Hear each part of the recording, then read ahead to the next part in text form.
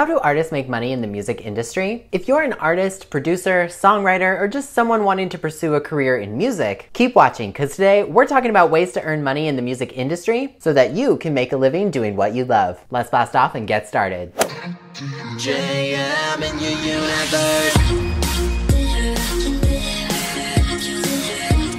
Konnichiwa friends, I'm Jonathan Miller and welcome back to Jonathan Miller Music where we help each other become better artists. I make pop music and every Wednesday on this channel I'm helping others take their music to level 2. If that sounds good, consider subscribing and ringing the notification bell, maybe giving this video a like and sharing it with a friend. My goal this year is to hit 10,000 subscribers, so any interaction helps me a ton if you enjoyed this video and got something out of it. If not, I hope you make no money. Well, that went from 0 to 100 very fast. Yeah, but your boy is trying to make a living too. Well, you don't need to say it like that. Oh, you're still watching. Just ignore that. Subscribe! All right, my friends, today we are talking about ways to earn money in the music industry. There are a lot of avenues to do so, so whether you're an artist or some other type of industry professional, there are many ways you can earn a comfortable living doing what you love. So let's not waste time and just jump right into it. First, for my artists, let's talk about the seven passive income streams for you. All right, y'all, we live in a post but still kind of in pandemic world now, and touring is still such a wild card. Shows are getting added and announced and then they're canceled two months later. But luckily for you, touring is not the be all end all that it once was. For artists, there are still seven main methods of making money, and they are as follows. Music sales. This is the money earned from literally the sale of your music either on your website or like on iTunes. Music streams. This is the money earned from people literally streaming your music on places like Spotify. Royalties. This is the money accrued from writing your own music that you're owed when your music is streamed, played on the radio, sold, all those types of things. Merchandise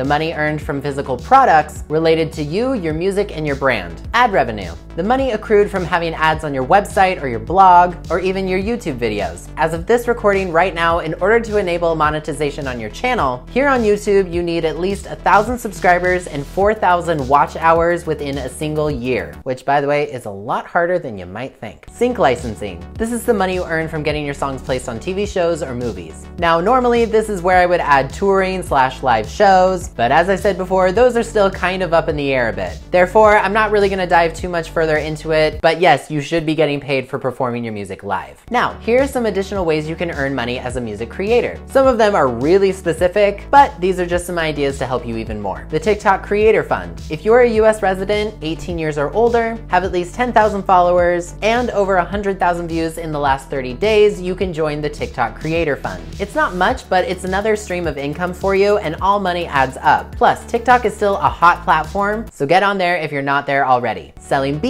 If you just like to produce music, you can sell your beats online for a fee and state if you want royalties or not. Now, most people I know tend to offer their beats royalty free for a little bit of a higher charge, and it's a lot less of a headache not dealing with contracts and stuff but the choice is up to you. So if you really want to practice your producing skills and make a little money on the side, sell your beats because people are always looking for good ones. Furthermore, making loops and samples. Similar to selling beats, you can also make cool synth lines or other types of musical samples, flute riffs, guitar plucks, doesn't matter. You can sell them online for a price as well sponsorships, and affiliate marketing. Another way to get money is getting sponsored or having a brand partnership. This is basically where you create content talking about a specific brand, and usually you get some type of code for your audience to use, so that way when they use your link, you get a portion of those sales, or conversions as they're actually called. Plus, you should get some sort of flat rate fee for the post as well. Sell your talent. If you're also talented as like a designer, or you wanna utilize your songwriting in a different way, or a remixer, join a site like Fiverr or Upwork, and you can help other people with their careers. You can earn a lot of money this way if your reputation gets really good too. Write an ebook. Do you know a lot about a certain music topic that you could write about? Writing an ebook doesn't have to be that long and it doesn't have to be super complicated. And selling it on the Amazon Kindle store or the iBook store is actually pretty easy. So that's a great avenue for you as well. Finally, for my other types of music creators, here are some helpful jobs that I know a ton of artists would love help with if you're looking to get into the industry in other ways. YouTube editor. Video is a huge part of music marketing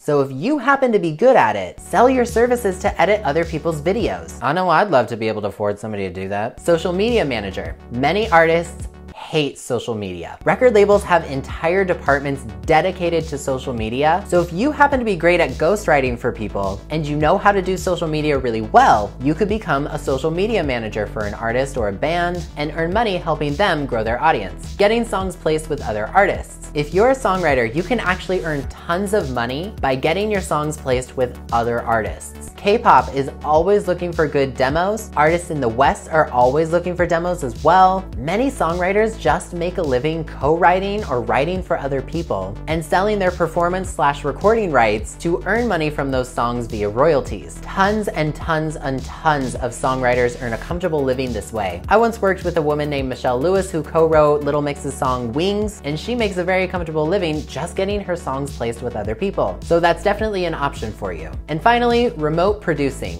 Work with artists remotely who record their own vocals in their home, and then they send you the tracks over email or Dropbox, and you go to town and produce their song. This is especially an excellent option because of the pandemic. It's safe, it's easier, it's cost effective for a lot of artists, and you can earn a lot of money this way. There are many ways to earn money through music, so think outside the box and your bank account will thank you later.